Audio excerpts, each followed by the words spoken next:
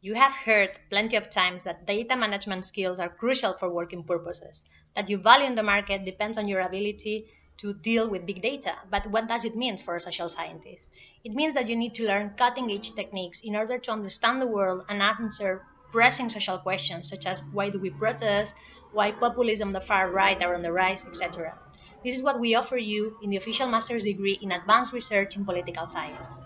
You're going to learn from the masters side by side, actually working with us, how to posit a thrilling research question, how to collect and analyze the data in order to answer it, and plenty of statistical techniques, communication, and writing skills that will make of you a great social scientist and put you in the right path, fast lane for a PhD.